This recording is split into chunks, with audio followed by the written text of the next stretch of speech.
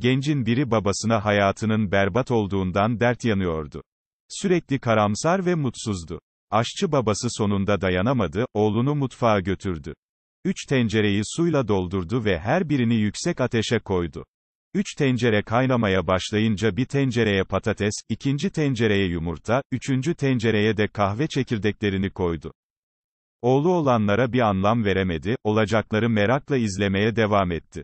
Baba 20 dakika sonra ocakları kapattı. Patates ve yumurtayı iki ayrı kaseye koydu. Suda eriyen kahveden de bir kepçe alıp fincana boşalttı. Oğluna sordu, ne görüyorsun? Oğlu şaşkın, patates, yumurta ve kahve, dedi. Baba elini oğlunun omzuna atarak bir anlam veremedin değil mi, dedi.